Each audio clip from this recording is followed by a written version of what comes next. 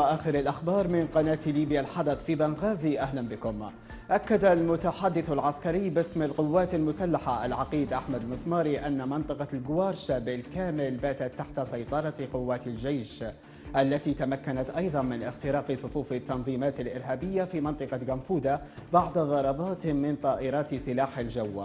وأوضح المسماري أن منطقة الجوارشة كانت تحتوي على مخازن للأسلحة ومعسكرات لتدريب عناصر تنظيم قاعدة الإرهابية في بنغازي والمنطقة الشرقية.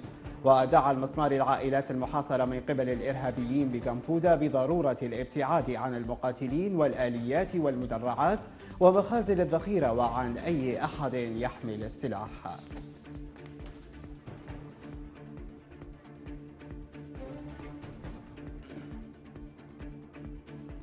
حذر الناطق باسم صنف الهندسة العسكرية عبد الله التواتي سكان منطقة الجوارشة من الاقتراب من أماكن سكنهم بعد تحريرها من قبل قوات الجيش وذلك لوجود عدد كبير من الملاغم. وأوضح التواتي أن منطقة الجوارشة ملغمة بالكامل ويوجد بها أنواع من الملاغم لا يمكن تمييزها وجميعها داخل المنازل وفي محيطها.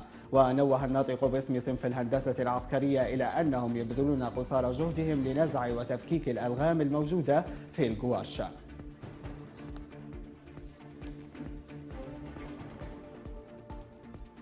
أشارت وكالة رويترز في تقرير لها أن الأمن يعود لمدينة بنغازي بفضل تضحيات الجيش الوطني وجهوده قائده المشير خليفة حفتر.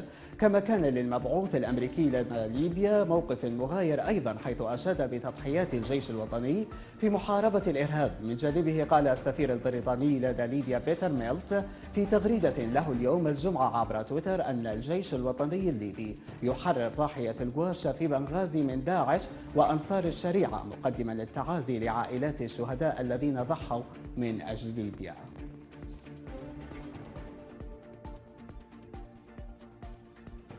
هنأ مجلس النواب القوات المسلحة بانتصاراته التي حققتها وتحرير منطقة الجوارش غرب بنغازي والتي وصفها بأنها أهم معاقل الإرهابيين والمتطرفين.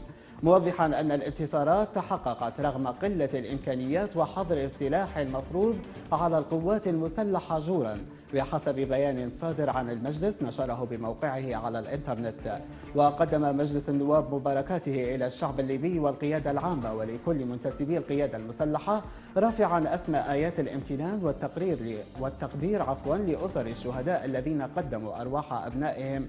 الطاهرة فداء للوطن متمنيين الشفاء العاجل للجرحى والمصابين.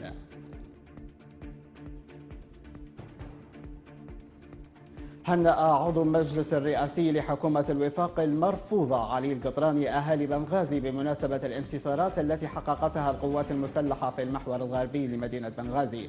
مترحما على الجنود الذين قضوا في هذه المعارك متمنيا الشفاء العاجل للجرحى واعتبر القطراني في تصريحات إعلامية أن المجرمين الذين يخوضون في المعارك ضد القوات المسلحة قد أجرموا بحق أنفسهم وأهلهم ووطنهم مبينا أن القوات المسلحة كانت لهم بالمرصاد والتحم جنودها وضباطها في كافة أركان الجيش مع القائد العام المشير خليفة حفتر لإنهاء حقبة مريرة ومظلمة للإرهاب بمختلف أنواعه.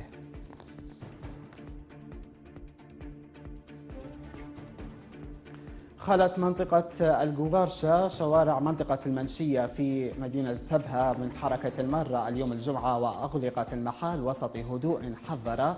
أعقب يوم عقب يوما من الاشتباكات الدامية على خلفية خلافات قبلية وبين أحد أعياء مدينة سبها جهودا تبذل منذ يوم أمس من أجل التهدئة بين ممثلين عن قبيلتي أولاد سليمان والجذاثة طرفي في الاشتباك. وأكد الناطق باسم مركز سبها الطبي أسامة الوافي في تصريحات إعلامية أن المركز تسلم أمس قتيلا وستة جرحى جراء الاشتباكات التي استخدمت فيها الأسلحة الثقيلة في سبها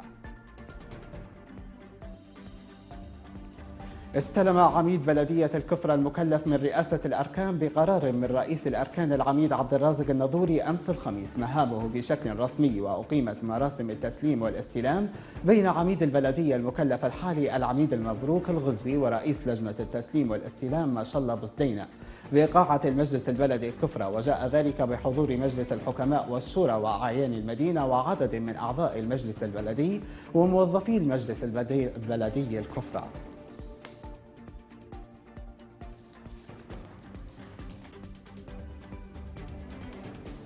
لمزيد من الأخبار تابعوا قناة ليبيا الحدث على مواقع التواصل الاجتماعي فيسبوك تويتر يوتيوب تليجرام وبإمكانكم أيضا تحميل تطبيق ليبيا الحدث عبر هواتفكم المحمولة. كما يمكنكم أيضا متابعة البث المباشر على موقع القناة الرسمي ليبيا الحدث dot TV. شكرا للمتابعة ودمتم في أمان الله.